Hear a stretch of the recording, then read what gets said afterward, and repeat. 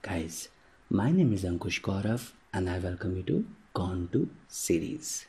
In the previous tutorial, we learned how to create the project structure for any kind of Java application using Maven. And at the same time, while we were learning so, I also explained all important and fundamental concepts of it, like what's a Maven repository, what are Maven plugins, what's the concept of an archetype, group ID, artifact ID, version, etc. etc. So overall what we learned was in order to create the project structure for any kind of Java application, you just need to run a maven command with the name mvn archetype generate.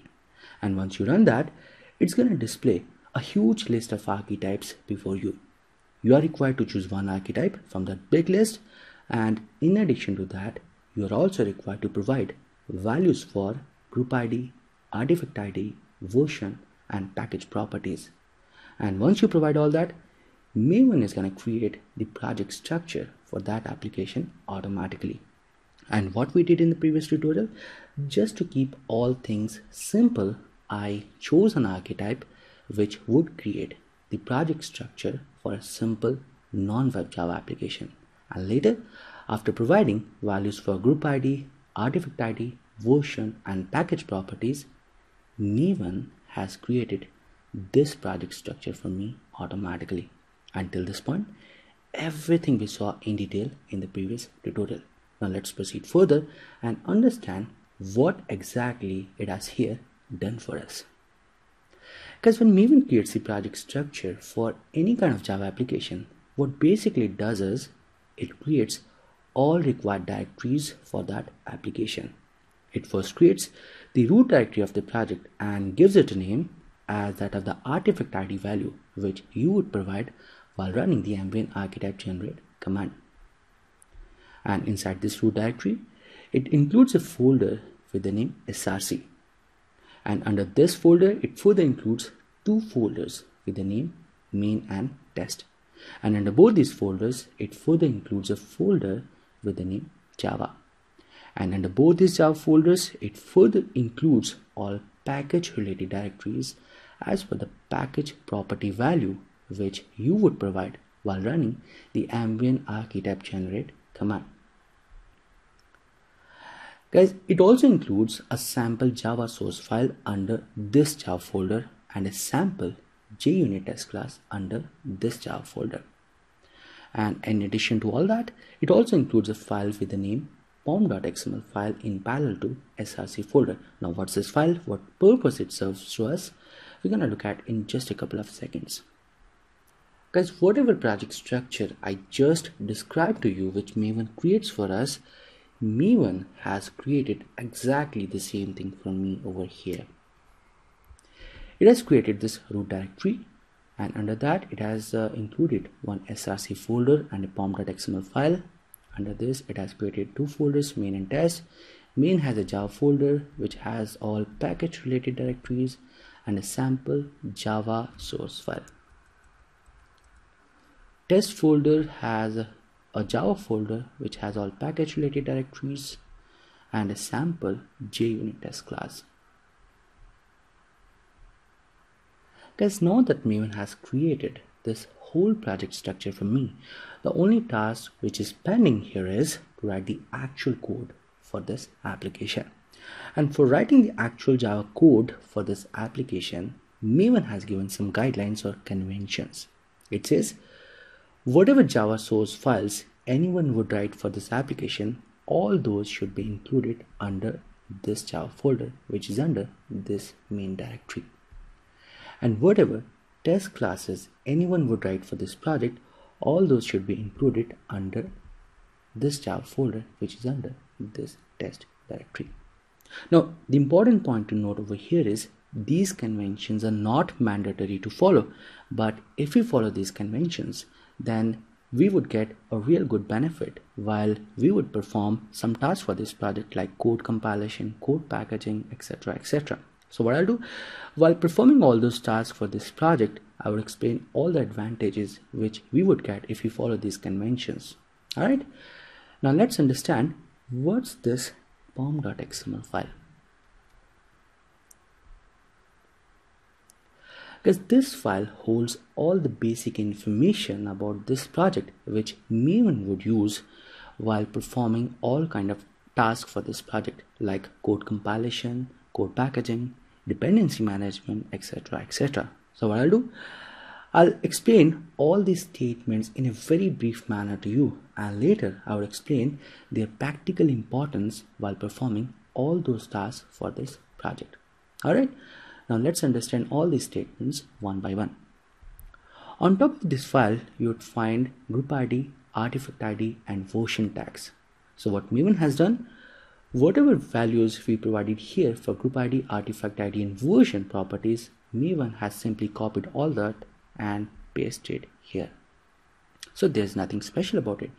Whatever we provided here while running the Maven archetype generate command, it has simply copied all that here. Now, what's this packaging tag? Because every project has some sort of outcome or output. If it's a web-based Java application, then its outcome or output would be a WAR file. If it's a non-web Java-based application, then its outcome would be a jar file. Because here we chose an archetype which created the project structure for a simple non-web Java application. So by putting this statement here in this pom.xml file, Maven is saying that the outcome for this project would be a jar file. Now what's this? Name tag? Because this tag specifies the name of this project. And in general Maven keeps its value as that of the artifact ID value which uh, we provided as part of running Maven archetype generate command. But if you want you can always change this value over here to give some better name to your project. For the time being we can ignore these tags. Now what's this dependencies tag and what's this dependency tag inside it and all this information which is contained in it because you remember in the introduction to Maven video I was talking about one of the most wonderful features of Maven and that was whatever dependencies your project might have all those dependencies would be managed by Maven automatically for you and you are not required to do any single task for that manually. Let me explain what I'm really talking about here. In this project structure, Maven has included a sample JUnit test class over here. So this class would require all JUnit related jars to be present on this computer before we would perform compilation tasks for this project. So this project has a dependency on JUnit related jars. Now what we would do normally to get all those jars if we are not using a tool like Maven, we would go to the internet, we would search for all JUnit jars, we would download all of them on this computer and if by any chance any of those jars further depends on any other jar or jars, we would again go to the internet, we would search for all those jars, we would download all of them and after including all those downloaded jars in this project, we would be able to perform compilation task. Now, if we are using Maven, we are actually free from all those tedious tasks. In order to get all JUnit related jars, we just need to add this dependency tag in this pom.xml file. Now Maven has included this dependency tag over here by default because this project has a dependency on all JUnit related jars. So this is how it works. When we would run a Maven command to perform compilation task for this project, at that moment, before executing that command, Maven is gonna search for all jars with this version for JUnit on this computer. And if it doesn't find all those jars on this computer, then it would go to the internet and would download all required jars with this version from something called as Maven repository. So it's only after downloading all those jars on this computer related to JUnit which have this version, Maven is gonna run that command to perform compilation task. And the important point to note over here is when it would download all JUnit jars from Maven repository, it would also download all JUnit dependencies as well on this computer. So this is the only information which we would need to provide to Maven to fetch all JUnit related jars on this computer to perform the compilation task for this project. right? In the next tutorial i'll show you how this overall concept works practically. And along with that we'll see how to compile and package you know this project. As a big thank you for learning maven with me. If you have any feedback or comments please provide them below the video or simply write to me on this email id for all of your queries. Please hit the like button if you really like this video and do not forget to subscribe to my youtube channel Gontu series. And i'm gonna catch you in the next part of this tutorial